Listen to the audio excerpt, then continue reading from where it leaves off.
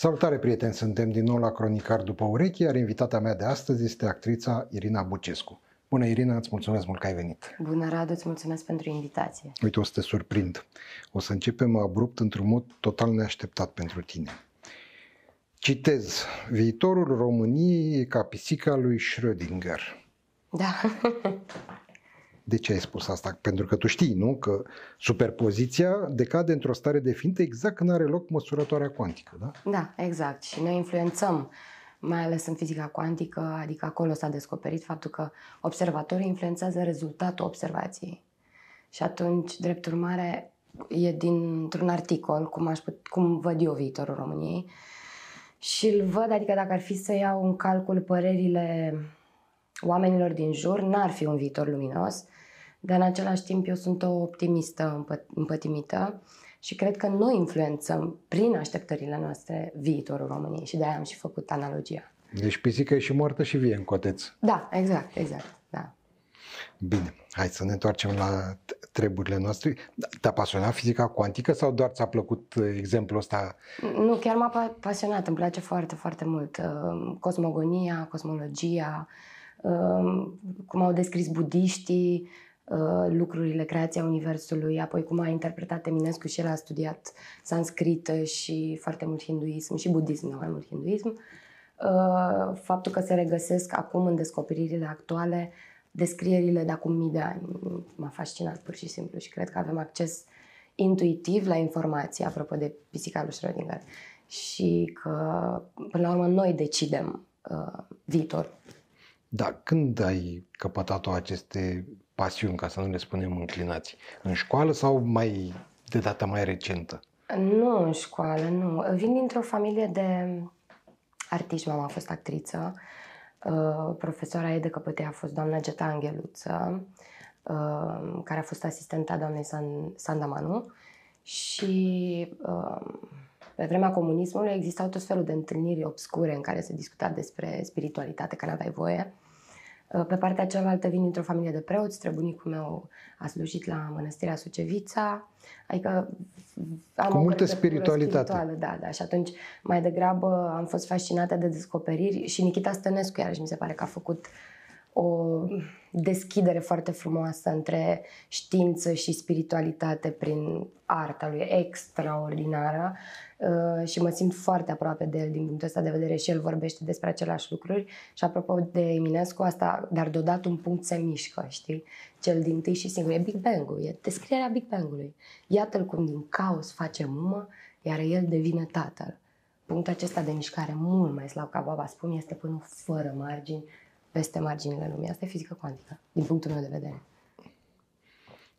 Acum înțeleg de ce ascultai Mozart când erai mică și nu, și nu ceata lui Pițigoi. Doamne, da, da. Ei, mai ascultam și ceata lui Pițigoi. Dar familia, adică asta îmi punea mama să ascult când eram mică. Și îți plăcea? Sau o luai așa ca pe un supliciu? Păi nu știu, când ai un an, doi, trei, nici nu conștientizezi, cred, ce-ți place sau nu. E, devine parte din Când ai mai crescut un pic? Da, îmi plăcea foarte mult când am mai crescut. Da, da, nu, deloc supliciu. Nu zic după aia în adolescență, am ascultat și eu toate tâmpeniile și îmi plăceau și alergam să iau casete, nu știu, am ascultat chiar și Andrei. Mi-a plăcut și partea aia. Dar uh, acum mă întorc cu mult mai mult drag către ce ascultam când eram mai mică, ce îmi punea mama, ce îmi punea bunica. Da, mă rog, ai spus-o în mai multe rânduri, că familia te-a influențat sau ți-a influențat cariera artistică doar ți-a oferit o bază sau mai mult decât atât? Au fost și niște, ți-au călăuzit pașii, au fost o, o îndrumare din asta efectivă? Um, așa ar fi dorit să fiu cântăreață, nu actriță, pentru că știa... Păi ești. Sunt și, da, da, da, dar uh, știa greutățile prin care ar fi urmat să trec și... Păi ce cântăreți nu trec prin deci mai cânti la o nuntă și da. mai, te mai scoți. Da, exact.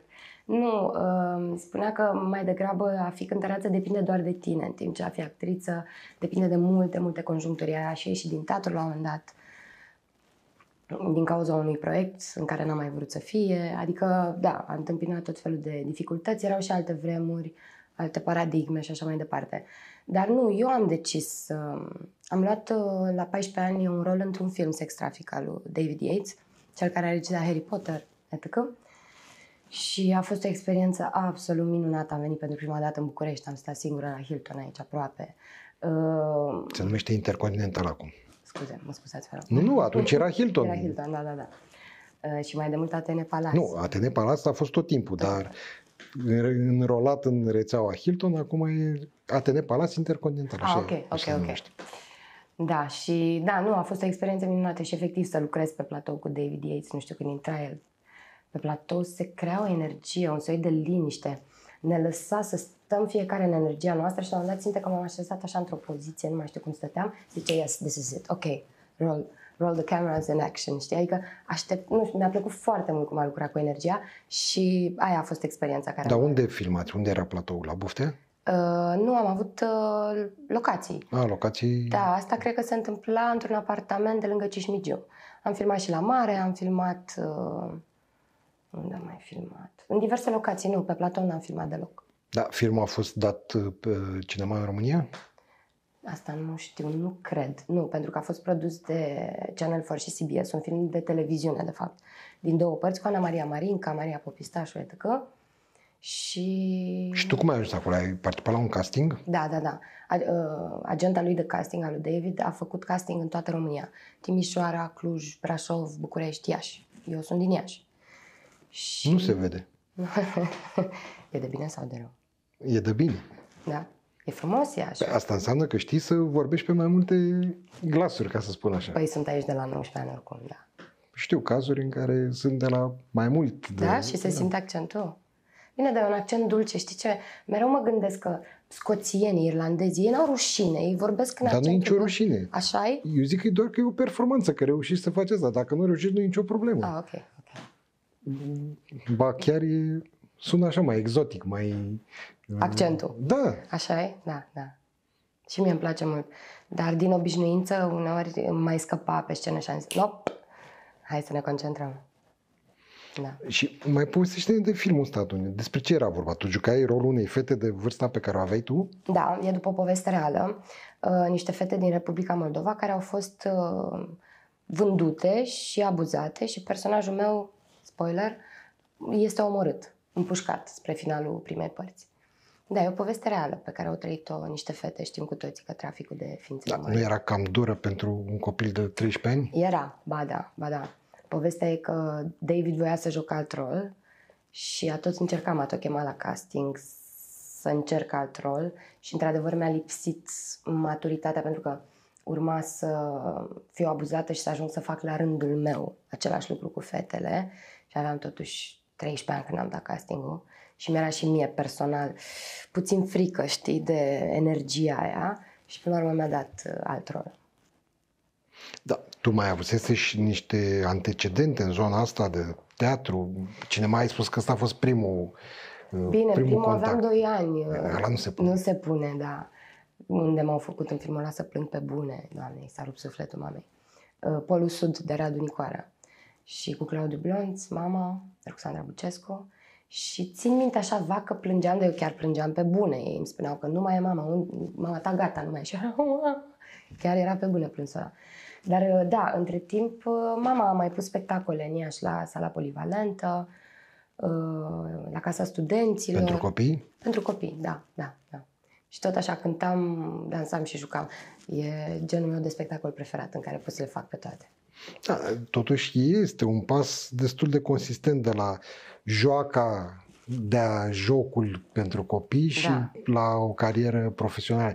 Ți-a plăcut atât de mult și ți-a fost limpede că asta e direcția? Da, da, da, clar. Adică îmi place enorm de mult. E altceva, e ceva intim când compun muzică. E um, o energie care se creează și e fo- pe cât de intimă, pe atât de ești al tuturor, în timp ce pe scenă uh, e, un, e o altă dinamică energetică, dar îmi plac ambele foarte, foarte mult. Eu chiar vreau să te întreb, pentru că eu așa încercând să mă dumirez cu ce te mai ocupi și ce mai faci, mi-e destul de greu să spun ce ești, pentru că cele două laturi ale carierei tale sunt așa foarte întrepătrunse și cu foarte mare personalitate fiecare dintre ele. Adică nu aș putea să spun care e cea dominantă, cea de actriță sau cea muzicală, despre care o să vorbim un pic mai târziu. Acum ne concentrăm pe uh, asta cu ar, a, actrița, cu actoria. Da. Și când te-ai hotărât să dai la teatru? Uh, la 17 ani. A, deci cumva destul de aproape. Aproape, da, da, da, da, da. Uh, da, nu știu exact. Cred că asta zic, a fost o decizie in the making. Uh, de-a lungul anilor, după aia am mai uh, avut, nu mai știu câți ani aveam, 11, 12, ceva, o experiență la opera din Iași, am jucat în, uh, la Răscruce de Vânturi, iarăși mi-a plăcut enorm și țin minte că finalul eram Cathy Copil. Și finalul era cu Cathy și cu Heathcliff, care urcă pe niște scări, dar era impresionant decorul, Anda Tăbăcaru a făcut montarea și tot la fel mă văzuse în curtea teatrului, dar nu știa, habar n-avea că mama e mama sau ceva. Și a vorbit puțin cu mine și a zis, ă, dăm-te rog numărul tău de telefon, vreau să-i sun pe, pe tăi că vreau să te iau într-un spectacol. Și sună, ă, bună ziua, sunt tata, a, da, sunt Ruxandra, a, Ruxandra, ia cu mama, da. Și iarăși mi-a plăcut foarte mult. Asta e o poezie vizuală pe care poți să o ai în muzică cu visual effects and stuff, dar e o, um, mie îmi place foarte mult teatru că, pentru că are magia asta și cred că asta m-a determinat. Adică într-un fel e film, într-un fel e teatru, într-un fel e muzica. Asta clar. Și teatru mi se pare că are magia cea mai um, pătrunzătoare dintre toate, pentru că e și cea mai mare convenție la care trebuie să um, um, în care trebuie să intri, de fapt. Muzica nu e convenție, asta exact. e convenție. Exact. Și uite, mie îmi spunea uh, Adrian Nicolae, tot aici la, la podcast, el a fost printre primii mei invitați, spunea că pentru el asta, asta l-a convins să meargă la teatru, că era acea magie întruchipată de cortină. Ce dumne, e cortina în care stai niște minute bune și te uiți la ea, cum e ea roșie în general, mă rog, acum Acum, de fapt, nici nu mai e cortină la, în multe da, desene. Așa, e. așa, și după care acea cortină se deschide și treci pragul unei lumi pe care nici măcar nu o bănuiai. Da, și ce, da. e, magia asta m-a determinat Da. pe mine să merg către teatru. Da. Eu asta spuneam, cu părere de rău, magia asta s-a cam rupt, că nu prea se mai folosește cortina. Sunt cum, spații neconvenționale unde nici n-ai putea să pui E cortină adevărat. și dacă ai vrea. Și oricum, ba, mai mult decât atât s-a mers într-acolo încât nu doar că nu e cortină și că lumea vede decorul, da? dar vede și actorii sunt prezenți în decor și stau acolo, vegetează, nu fac ceva. Da. La, nici noi observ din prima dată și speri la un moment dat, că uite că mișcă mobila sau Da, nu da, știu da, cum. da, da, așa E, e. Asta e, sunt, uh, evoluează lucrurile. Dar de mică te preocupa și muzica în Da. egală măsură. Da, și ai da. fost genul ăla de copil chinuit care trebuia să facă lecții de pian, nu? Da. da, chiar da. Uh, Țin minte că voiam să ies la joacă și nu, nu se putea, trebuia să stau să studiez patru ore pe zi, ceea ce la șapte-opt ani e mult, e enorm, patru ore. Și aveai pian acasă sau mergeai la Da. cineva? Da, nu, nu, aveam pian acasă. Bunica a fost uh, uh, profesoară de teorie muzicală, a terminat violoncelul, ea a terminat uh, în București și dirijat și a fost primul rector ales al Universității uh, George Enescu din Iași, ales liber după comunism și ea împreună cu mama am înființat facultatea de actorie de acolo. Deci, da, aveam pian, erau mulți studenți tot timpul acolo, de exemplu, de Crăciun erau mm, niște colindători extraordinari, adică niște colinde, un moment extraordinar. Veneau vreo 30 de studenți să cânte. Uf, mi se face așa acum pielea de găină. Deci da, am crescut în mediul ăsta, aveam totul la dispoziție. Bun, și după ce ai terminat uh, școala, ce ai făcut? Cum ai ajuns în lumea teatrului, ca să spun așa? Înțeleg că ai venit la București de la A, după ce am început. terminat liceu. Da, da, da, am venit, am dat admitere. Uh, am intrat, doamne, așa. Dar de ce n-ai dat la Iași? Păi uh, nu voiam la Iași. Uh, în primul rând îmi erau părinții profesori acolo și ceea ce poate fi un plus, bineînțeles, dar uh, Bucureștiul e cel care îți oferă, după cum ți-am spus, am luat decizia intrinsec atunci când am făcut filmul și atunci filme, uh, concerte, Nu, teatru, tot e oportunitățile mult, sunt aici, oportunitățile da. sunt aici, exact, exact, exact. De-aia am venit aici. Și uh, deja în anul 1, între anul 1 și anul 2 filmam primul serial ceea ce a fost foarte... Ce serial? O telenovelă, Voință de femeie. Cătălina Mustață, uh, regizat de Bogdan Danelopol. A fost foarte o experiență chiar uh, foarte mișto. Mi-a plăcut mult. Așa. Și după aia, după ce am terminat facultatea, am... A, deci asta filmai în timp ce erai chiar studentă. Da, da, da, da, da. Am început să joc la domnul Victorian Frunză, care a fost o experiență care Dar cum ai ajuns în În urma unui trupul? casting. A, da? Da, da, da. Și te-ai prezentat tu acolo? Adică a fost open call și... Da, da, da. Pentru da, ce da. spectacol? Mai ții Și am minte? aplicat. Uh, nu era specificat un spectacol. Aha. Nu, era pur și simplu casting pentru actori, uh, în urma căruia s-au făcut două spectacole, Tartuf și Mobile și Durere. Uite, am văzut prima oară în mobilă și durere. Dar tu ai fost și în versiunea inițială de la Nicolae Bălcescu? Da, da, da, da. Că știu că erați două pe rol. la un eram, moment da, dat. și acolo și la Nicolae Bălcescu, eram două pe rol și apoi și la Teatrul, Teatrul Dramaturgilor. Dramaturgilor. Da, da. Da, asta e un spectacol care, mă rog, am mai spus și în alte ocazii, este cel care mi-a atras mie atenția asupra uh, trupei fără nume a lui Victor Ioan Frunză. Eu eram prieten cu Cristi Șofron și el mă tot bătea Da, la cap. da. Vino, vino să vezi minune. Și eu nu m-am dus până într-o zi când am citit în ziar. E o știre că rupsese la premiile Uniter. Luase premiul de regie, de Da, decoruri, da, da, da. cel mai bun actor în rol secundar, Cuțuleac și zic, Da. mă, e ceva, trebuie să fie. Da, da. Și mă rog, și așa a început uh, uh, magia. Și mai departe? Uh, mai departe am continuat să joc la domnul Victor Ioan Frunze. Nu prea am fost la multe castinguri pe teat- teatru cei drept, pentru că m-am axat mult pe parte de muzică. Am concertat în Londra, în Paris, la Electric Castle. Stai, la stai, nu, nu așa. Păi spune-ne TIF. Cum te-ai apucat de muzică. A, cum am apucat de muzică? Păi, uh, în paralel, întâi și întâi am concertat cu trupa Classical Beat Orchestra. Uh, Dar ce fel de muzică? Să le spunem celor care nu urmăresc. Uh, Păi era un soi de muzică contemporană, clasicul adus în contemporan. Uh, Linia de voce era chiar spre muzică ușoară, dar ce făceau instrumentiști în spate, de exemplu Mișa, un pianist virtuos extraordinar de talentat și toți ceilalți, uh, era muzică clasică, dar reinterpretată contemporan. Și cu ei am avut niște concerte foarte frumoase la Hamburg, de exemplu, a fost uh, minunat dar mă trăgea ața spre ceva mai experimental. Întotdeauna mi-a plăcut muzica electronică și apropo de iubirea mea pentru astronomie și astrologie de altfel, uh, am simțit că duce în zona aia, știi, de... N-ai simțit, era scris în zodii, nu? Și asta.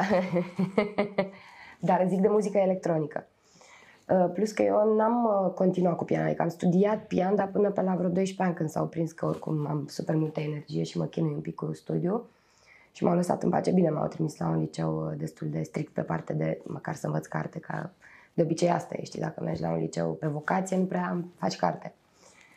Și era cu camere de filmat, era destul de strict, dar tot am fost uh, rebelă, că na, asta mi-e energia. Uh, și ce spuneam? am uitat. Despre muzică electronică. Muzica electronică, așa, da. Și uh, pentru că îmi plăcea foarte mult să o ascult, uh, l-am întâlnit uh, pe Costas Ivanov și am început să experimentăm împreună pe parte de compoziție și, compoziție și producție. Am lansat primul album și uh, am început să concertăm. Și am primit și un feedback extraordinar, nu ne-am așteptat deloc, din partea englezilor care sunt tăticilor, adică tot ce înseamnă muzică contemporană, acolo și are seva. Uh, Fiecare imperiu, fiecare națiune și-a adus contribuția, dar ultimul secol mi se pare că de acolo își trage seva. Acolo se dă ora exactă în muzică. Exact, exact, exact. Dacă zici englezii, la ce te referi? La public sau la cei din industrie? La cei din industrie, respectiv, nu știu, mulți ne-au zis că suntem primii români, nu știu, n-am făcut research-ul, dar uh, am apărut în Clash Magazine, în Fame Magazine, în um, Vice New York, asta pe partea de americani. Nu știu, eram ascultați din Siberia până în Australia. Stanford, de exemplu, uh, are un radio, universitatea, și ne plăceau foarte mult, ba chiar ieșise o trupă peste vreun an, doi de când ne difuzau și au zis Sounds like Temple Invisible, știi? Foarte frumos, adică tot felul de publicații mari care au scris despre noi și scriau chestii de genul nu te-ai gândit că în uh, România muzica electronică e așa, dar uite, Temple Invisible paving the way into electronic music. Deci sau... Temple Invisible e trupa voastră. Da, da, Sunteți da. voi doi, tu și cu Costa. Da, da. Ok. Uh, Da, și cu asta m-am ocupat. Am compus și muzică pentru filme, pentru seriale. Nu OS-uri, nu original soundtrack, adică n-am primit secvență și apoi să compunem peste.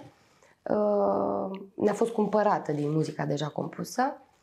Uh, Da. Am, Mm, Secvențe sau piese pentru muzică de ambient, așa, sau piese în sine, care să fie folosite ca atare în... Și și, adică m, noi avem foarte multă muzică încă nelansată, printre care, de exemplu, un pian cu un pad care, da, poate să fie ceva atmosferic, poate să... Uh, multă lume zice că muzica noastră e foarte cinematică din punctul ăsta de vedere și Costa e regizor și eu sunt actriță și atunci se simte treaba asta și muzical. Uh, și atât și piese, da, cu, să zicem, stru- structură clasică. Uh, instrumente, refren, voce. Adică nu doar producție. bubuială din aia. A, nu, în niciun caz, nu, nu, nu, nu. nu. Și aia tot la muzică electronică intră. E adevărat, cumva. dar între timp am făcut trecerea, adică am început să aduc, um, mai ales eu am tragerea asta spre um, un soi de sensibilitate, e ceva care mă populează și ceva pe care simt nevoia să exprim. Um, Peduri, viori, uh, suflători, uh, violoncel, adică... Ce înseamnă peduri? Uh, Pedurile sunt acele sunete uh, ambientale care umplu foarte subtil Și sunt atmosfera generate sonoră. Uh, Sunt generate În electronic computer? uh, prin uh, di- diverse plugin-uri, de exemplu Arturia uh, și multe altele. uh, Le poți sintetiza, adică ce pornești de la un sunet de bază și apoi lucrezi cu frecvențele și cu funcțiile pe care le are un instrument și le sintetizezi, le, le adaugi. Adică sunetul, uh, de fapt aici în muzica electronică e vorba despre arhitectura sunetului. Și sunetul, apropo de uh, mici probleme care au fost și care se mai întâmplă la musicaluri, uh, e ceva foarte, foarte complex în realitate. Nu, nu ne dăm seama, eu de-abia, cred că știu 5%, nici măcar ar fi bine, din ce înseamnă arhitectura sunetului. E ceva extrem de vast și te poți juca, adică dacă te gândești la geometrie, cam așa e și cu sunetul. Sunetul e la fel de vast ca și geometria. Păi da, dar știi că sunt două, să zic așa, meserii diferite. Una e să generezi sunetele și alta este cum le duci în auditoriu, știi? Exact, că exact. tu acolo poți să faci totul perfect, dar mai departe multiplicare, amplificare, distribuție, ca să zic așa, acolo Așa e. Și mă rog, în, cel puțin în muzica asta electronică, tot voi sunteți responsabili și de chestia asta. Adică voi nu sunteți doar cel care cântă și mai departe sunt alții care fac treaba. Voi faceți cam tot, nu? Uh, Există inginerul de sunet. Pentru că tu n-ai cum în timp real, în timp ce ești pe scenă, să auzi și ce se aude pe PA. Adică ce aude publicul. Da, da. Tu ai un inir, de obicei, o cască care se bagă în ureche și îți faci propriul tău mix în inir, dar nu ai cum să auzi. Și atunci, da, trebuie să existe un inginer de sunet care face sunetul în timp real. Da, uite că eh, am ascultat o înregistrare cu voi la un radio din ăsta online, um, care era, era până în 2022, dacă nu mă înșel. Ați fost voi la un workshop cu Adrian Despot. Uh, Da, da, și da, da. după aia ați avut la radio, nu știu cum. Da, Black Rhino, Așa, cred. bravo. Așa. Exact. Și ziceai acolo că avem plăci de sunet separate. Jesus, ce înseamnă asta? Păi, uh, Ce faceți cu plăcile de sunet? Ce sunteți voi, computere? Păi da, muzica a, necesită um, un întreg La ce sistem- cântați voi? Ca să te... sistem de wiring. Păi, uh, noi nu venim cu pianul propriu, noi nu cântăm acustic. Acustic înseamnă să vii cu un pian sau cu o pianină și cu o chitară rece și să cânti, pur și simplu. Sunetul se propagă liber în spațiu. În timp ce, dacă eu vin cu o clapă, tot cu 88 de clape uh, și cu velocitate de pian și așa mai departe, dar ea uh, necesită cablare într-o placă de sunet care mai departe uh, intră în laptop și atunci, din placa aia de sunet, va ieși, deci laptopul și clapa trebuie conectate la această placă de sunet ca ea să primească uh, Semnal semnalul și care de la pleacă. clapă și de la Exact. laptop. din clapă pleacă un semnal, laptopul stabilește sunetul, pentru că eu apăs pe do și eu mi-aleg uh, plugin-ul cu care vreau să cânt. Adică eu pot să apăs pe do și să sune chitara, vioara, pian, a ce vreau eu. Și împreună ele ies prin placa de sunet care se duce într-un mixer. Mixerul uh, dă semnalul către exterior, către ce aude publicul. Ok, și discul când se freacă? în tot timpul ăsta, discul, apropo de DJing, disc jockey, la ea e cu totul și cu totul alt sistem. Aia nu e muzică live. Aia e, se pune un vinil care pleiază și pe, și doar atât alea sunt singurele intervenții sau DJ-ul mai face și alte lucruri? Poate să facă și muzică live. Uh, e foarte complex domeniul, adică poți să te uh, wiruiești și să te sincronizezi cu mai multe instrumente în același timp care să cânte live tot ce se întâmplă. Ceea ce înseamnă că zicem că aici ai setat un beat care merge. Aici ai setat un pad sau un synth sau așa, aici ai setat altceva și apoi te joci între ele. Cel mai important e că ele trebuie să fie sincronizate între ele. Pentru că BPM-urile, beats per minute-urile, uh, trebuie neapărat să fie aceleași ca altfel ia totul razna. Sau, pur și simplu, ai două platane și te joci de la unul la altul ca să nu se oprească brusc, știi, să faci intrările frumos între piese. Da, voi genul ăsta de muzică bănesc că merge și pe la festivaluri de astea, nu? Da, da, da, da. Adică unde cântați? În cluburi? În... Eu, cel mai mult în București am cântat în Control, uh, am cântat apoi cel mai mult prin Cluj, uh, cluburi, am fost la Electric Castle, la, de la Hoia, la Untold, la TIF de două ori, uh, unde am fost la uh, Steak Delivery, Iași, Timișoara, de mai multe ori București, uh, la Aparat, la Tatu Cup din Iași, uh, la mai multe, Particles Festival, mă rog, da, la festivaluri. Și livrabilele voastre ce sunt? Sunt piese, nu? Adică nu aveți seturi de, nu știu, o oră de muzică? Ba da, o oră, o oră jumate de muzică. A, da, nu sunt, da, da, da, păi ele, nu, ele sunt, sunt piese, piese în consecuție, da, da, da, da, da. Presupun că în muzica asta nouă, modernă acum și inclusiv genul pe care îl faceți voi, nu, nu mai e ca înainte să scoți albume, cum era, da, viniluri, CD-uri, da. adică voi scoateți piese, da, într-un ritm care, nu știu, chiar, care e ritmul în care scoateți piese noi? Uh, noi am, ne-am dorit foarte mult până acum să scoatem EP-uri, easy play, adică uh, easy play tocmai, că sunt puțin, adică 5 piese, un EP trebuie să aibă sub 32-33 de minute. Da, uh, ce noi mă mai are această grupare a pieselor? Că bănuiesc că nu se mai bazează nimeni pe vânzările de la magazinul Muzica sau... nu, nicio legătură. Piesele, deci dacă nu sunt în platforme de streaming, piesele ce nu se downloadează independent, da? Da, da, da, da așa e. Uh, păi asta e că ținem totuși la un soi de tot unitar, adică scoți da. piese sub un concept și atunci de-aia e important să fie totuși grupate corect, corect. într-un album. Uh, dacă, nu știu, mă uit la trupele care îmi plac mie foarte mult, ca de exemplu Radiohead, Atoms for Peace, sunt artiști care și au câte patru ani să scoată un album. Un album de și ce fac în timpul ăsta? piese. Lucrează la piese. Adică le bibile sau așteaptă să vină inspirația să le scrie? Și și e un proces complex, da, da. Uh, depinde, sunt uh, trupe care au, nu prea divulgă nimeni exact care e procesul pas cu pas, dar da, face parte, adică eu cred că fiecare uh, membru al trupei vine cu idei, uh, se gândesc, uh, uh, ei se retrag de obicei ca să compună, apoi uh, există, nu știu, tot felul de studiouri, uh, un castel în Franța unde se duc ca să înregistreze albumul, adică sunt diverse etape. Știm că asta am mai văzut în filme. Da, da, da. Da, tu cum compui? Uh, cum spuneam și mai devreme, dintr-o...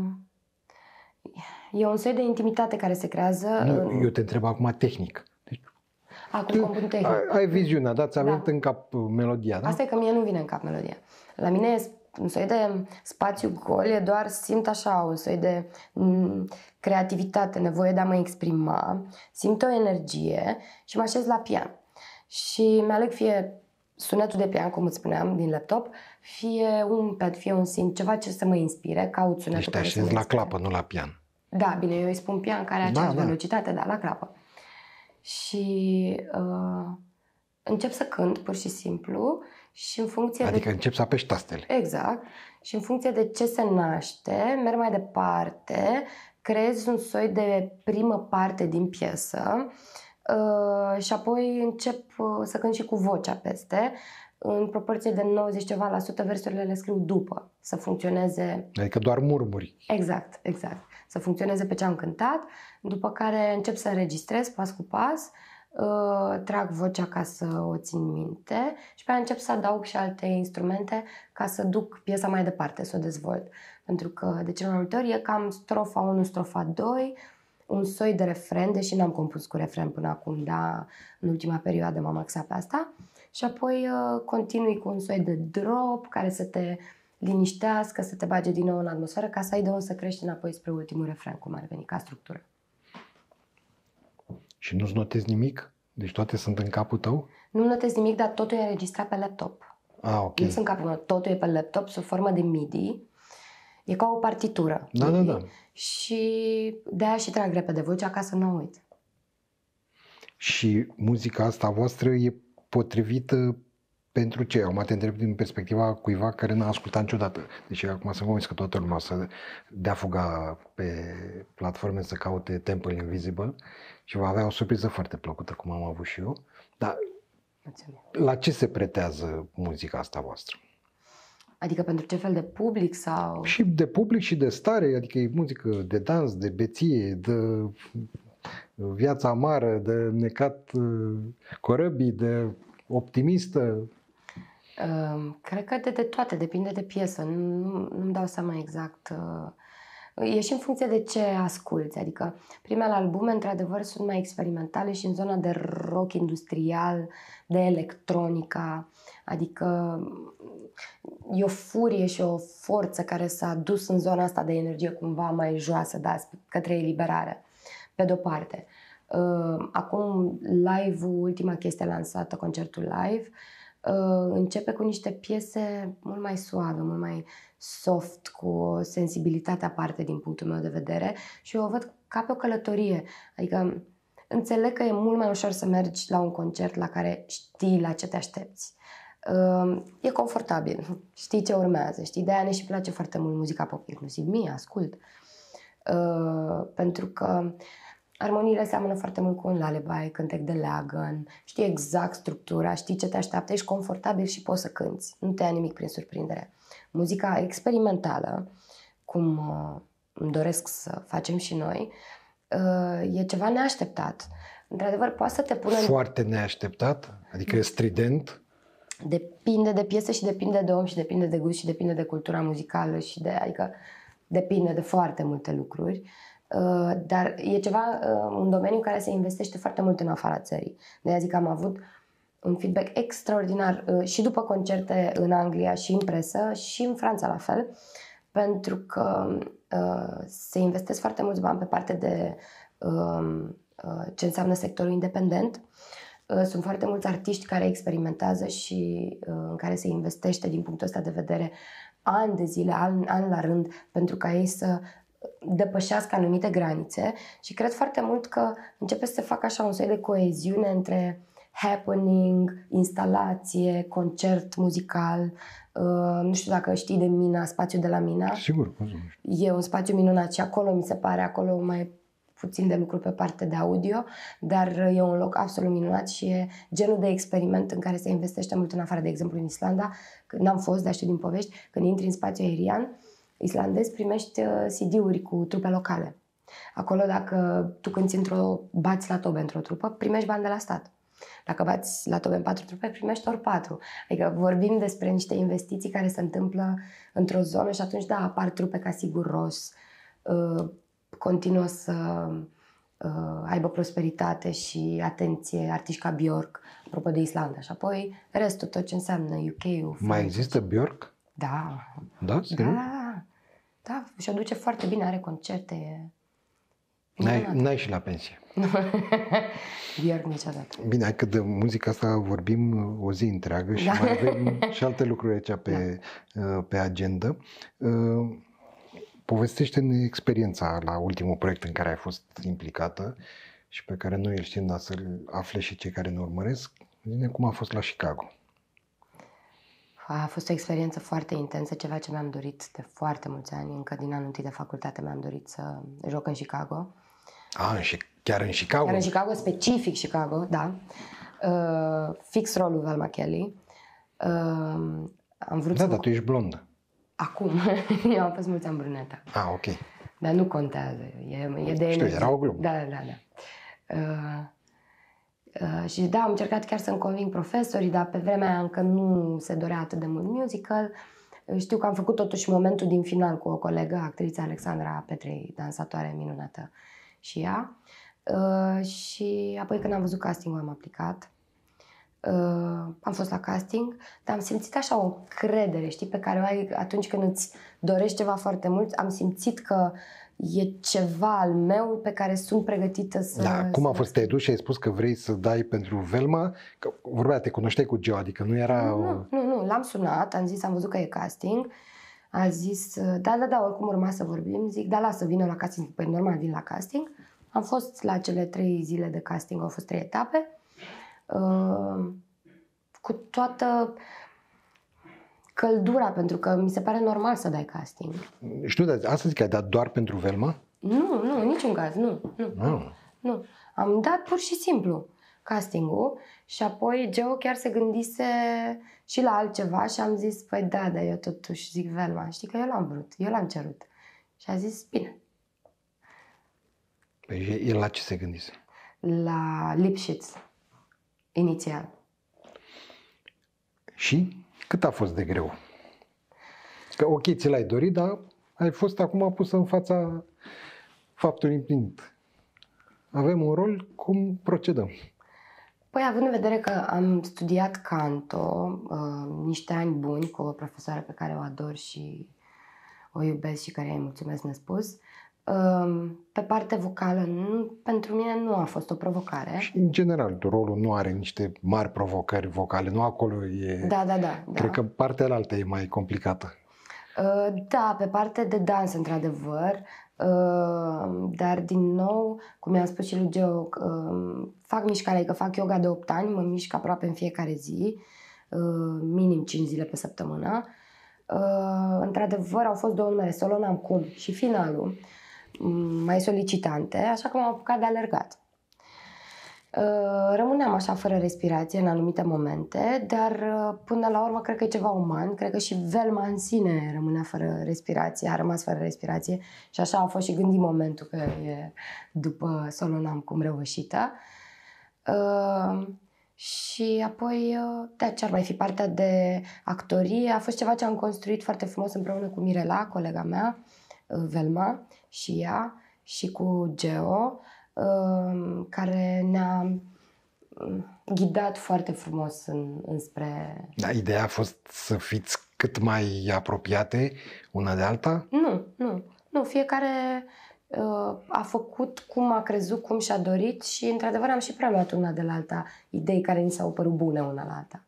Ne-am înțeles minunat, adică chiar a fost o echipă extraordinară. Într-adevăr, da, multă muncă, puține zile libere, dar nici nu mă așteptam la altceva. E un proiect care cere genul ăsta de muncă. Plus că îmi place, mă pasionează. Eu asta... Păi, știi, am întrebat-o Flavia și proiecte de viitor. Ce proiecte de viitor? Avem Chicago și asta ne umple tot timpul. Da. Adică despre ce alte Așa e. proiecte să mai vorbim? Așa e, așa e, da. Au fost puține zile libere, e adevărat, dar pentru că oamenii au fost minunați și acum urmează să mă văd cu câțiva dintre ei, adică chiar s-au format prietenii. Nu simțeam că pierd timpul, simțeam că investesc în mine și în, într-un spectacol frumos și îmi făcea plăcere să petrec timp cu oamenii acolo și să învăț și să mă dezvolt și să cânt și să mă bucur, că până la urmă despre asta e, știi? Mulți ani am avut emoții și eram terifiată și după aia mă, mă întrebam, ok, bine, când sunt acasă ce vreau să fac? Să fiu acolo, nu? Acum că sunt aici, nu vreau să fiu aici? Care, adică e nevoie de coeziune și de coerență. Și ușor, ușor am căpătat coerența asta. Nu zic că nu mai am emoții, dar nu mai sunt atât de covârșitoare. Și odată ce devii, cred, coerent tu cu tine însăți, um, nu, nu, nu le mai simți ca pe niște sacrificii. Da, e, rolul e complicat din punct de vedere tehnic, asta cu mișcările pe acolo, că totuși bănuiesc că sunt calculate, că nu vă mișcați așa bezmetici. A, ia să intru și eu un pic acum. nu.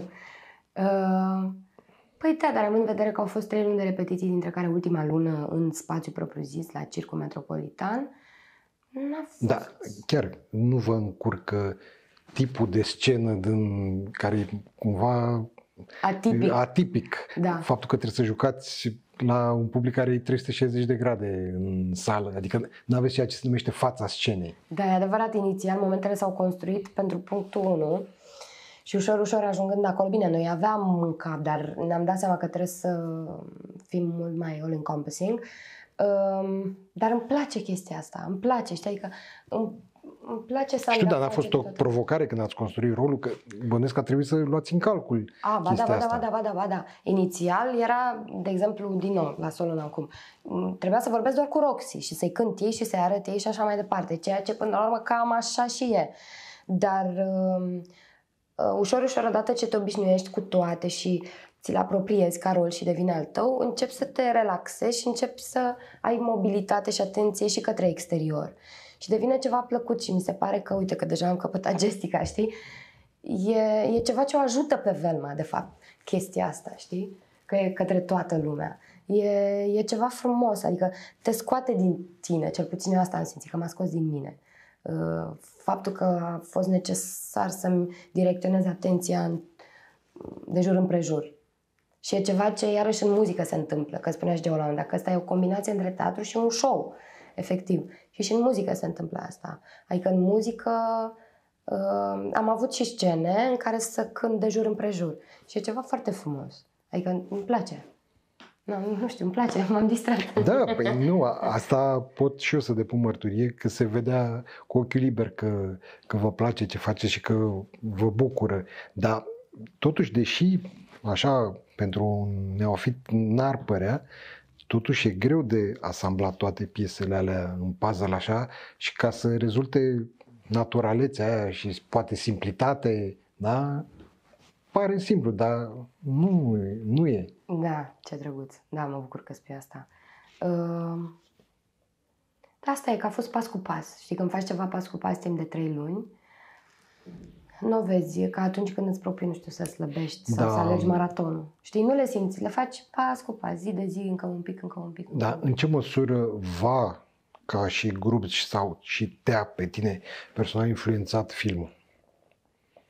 Că asta nu poate să spun nimeni că nu l-a văzut, că De- n-ai cum să nu-l vezi. 15 ori. Uh, pe asta când mi-am dorit, cum spuneam în anul întâi să joc, mi-am dorit în urma filmului, că nu, nu știam de pe Broadway. Ulterior am văzut și spectacole pe Broadway, filmate, nu live.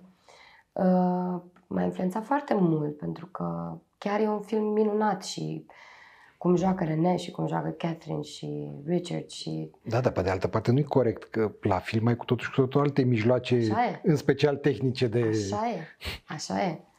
E adevărat, foarte adevărat. Adică nu e o competiție cinstită. Nu, nu. Și sper că nu e o competiție, de fapt. Păi, de fapt asta e, că Da, da. oricât te-ai uitat la film, senzația din sală este cu totul și cu totul alta. Da, da. Adică, ok, filmul, mai ales uh, când îl vezi la nu știu câta oară, nu-ți mai face goosebumps. Da, da. E, în sală e, e altfel, e, altfel simți uh, da, lucrurile. Da, da, da. Așa e. Um, tocmai mi se pare că mm, să primești energia aia în plex, cred că la asta te referi, nu? Apropo Exact. de Goosebumps. Uh, e ceva minunat și noi simțim la rândul nostru energia voastră și ne încarcă și mai mult și ne bucurăm și mai mult să fim acolo. Uh, și de aia zic că parcă cea mai inefabilă și cea mai consistentă magie e uh, la teatru pe scenă, pentru că e acea convenție în care odată ce ai intrat și tu ca artist și publicul, uh, mi se pare că se creează ceva uluitor, știi, în ambele părți. Da, este și e magic. Da, da, exact, exact. Dar, mă rog, în cazul tău n-a fost singurul musical în care ai jucat, ai mai jucat în cel puțin unul, în ce știu eu, Da, în da, My da. Fair Lady. În My Fair Lady, dar nu cântam acolo, doar uh, actorie și dans. Dar care e diferența? Adică, că, e adevărat, și sunt două uh, spectacole destul de diferite, Da, da, da. dar uh, cum ai văzut ca experiență de construirea spectacolului? Pentru că au, au fost două lucruri, cum spun, total diferite. Tu le percepi tu tot așa? Uh, în My Fair Lady n-am făcut parte uh, din, din uh, musicalul My Fair Lady de la început. Uh, el deja fusese montat de vreo 2 ani și uh, am făcut o lochirone între actrițe, filma sau ceva, nu mai știu. Și am intrat acolo cât am avut, vreo două săptămâni de repetiții, toată lumea știa deja ce are de făcut și așa mai departe. Deci doar tu trebuiai acomodată. Exact. exact. Am început uh, prin a juca la Băneasa, e o sală acolo, uh, foarte ok de altfel. La cinema. La cinema, exact. Și am continuat la sala Palatului. E, acolo a fost intens, pentru că sunt totuși 5.000 de oameni în public uh, și e un decor impunător și acolo, într-adevăr, sunt trasee foarte, foarte complicate datorită decorului, Uh, dar din nou, iarăși m-am, m-am simțit foarte bine și cred că da, m-a ajutat experiența aia să fiu un pic mai familiară aici la Chicago. Pentru că tot așa e ceva grandios. Și circul și sala de la circ la fel. Și uh, da, mi-a plăcut foarte mult la fel și acolo m-am înțeles foarte bine cu colegii. Uh, să simt zumzetul la 5.000 de oameni înainte, înainte să intri în scenă. Îl simți? Îl simți, da, da, da simți. Uh, acolo știu că aveam emoții mult mai mari, dar tot așa am lucrat cu mine și a fost, uh, a fost foarte ok, adică feedback-ul a fost minunat. Și la fel, uh, într-adevăr, asta spuneam și în alt interviu, că musicalul e ceva foarte structurat, că trebuie să respecti niște timp, nu ai cum să fii nici înainte, nici după. Uh, My Fair Lady, de exemplu, nu e atât de uh, numărat pe timp ca și Chicago. Chicago are muzică și în pauze și pauzele sunt numărate și totul e... Uh, Foarte dinamic. Exact. Are momente statice. Exact, exact. Uh, și da, e foarte intens faptul că e ceva atât de structurat, dar în același timp vrei să lași energia să se nască și să izvorască și să-și nască așa prin tine. Mm și da, e foarte mișto că ai o adrenalină constantă în tine din punctul ăsta de vedere. Pentru că trebuie să numeri 2, 3 și acum urma și vin băieții, dar tipul ăsta tu text și aici vin băieții și mai și ha, și câte măsuri mai sunt? 4, 5 și m-am lăsat, știi? E... Mi se pare uluitor să ții minte toate lucrurile astea, știi? Că, deci eu am întrebat-o, de exemplu, pe Flavia cum face coregrafia, cum o fixează. Da. Ok, înțeleg, îți vin ideile, nu știu, dar scrii ca pe partitură și zici, nu, îi spun dansatoare ce trebuie să facă da. și repetă până e bine și gata, asta e. Da, da, și le și ține minte. Păi aia e, că da. și, iar ea ca și coregraf trebuie să ține minte tot. Da, da, așa și ca să nu spun că dacă și dansează, iarăși. Exact, exact. Da, da, da, nu, că așa e. La un moment dat eram uh, și cu ea și cu Cristina Danu la fel, o super coregrafă, a făcut niște momente absolut minunate. Colega mea, Roxy. Roxy. Pe lângă faptul că e o actriță minunată. Uh, și la fel, la, la un dat o întrebam toți deodată, le întrebam pe fiecare. Uh, aici cum era și îți arăta imediat, dar din alt moment. Și aici era așa, da, nu așa. și au, e o memorie a mișcării, la fel ca și muzica. Ții minte exact pasajul ăsta cum e, adică nu trebuie să o iei de la zero, să iei toată piesa, știi exact unde e nota aia și așa. Asta pentru că uh, subconștientul e atât de bine antrenat, mai ales și muzica și dansul făcute la vârste fragede, îți rămân acolo și sunt în tine, fac parte din structura ta, din fabricul tău, din materialul minții tale și atunci e ceva foarte natural, ca și mersul, nu știu, ca și uh, băutul de apă, ca și respiratul, e ceva foarte, foarte natural pentru că le-ai structurate foarte profund și atunci e un limbaj natural. Da, uite, ni s-a întors clepsidra, ca să spun așa. Uh, așteptăm următoarele proiecte și să sperăm că mai sunt uh, vor mai fi și alte musicaluri pentru că în mod clar e ceva ce ți se potrivește așa mănușă. Vă doresc să aveți cât mai multe reprezentații și cu Chicago. Deja sunt stabilite Pentru datele mai. din mai, distribuțiile sunt stabilite. Încă nu. Dar ni le veți comunica. Cu siguranță. Așa. Îți mulțumesc și sper să ne mai vedem, inclusiv în această formulă, să mai povestim la un moment dat. Iar vouă, prieteni, vă spun doar că până ne revedem data viitoare, să știți că viața fără teatru este ca împărțirea la zero, fără sens. What should we do now? Now? What do you mean? You know what I'd like to do? Dance.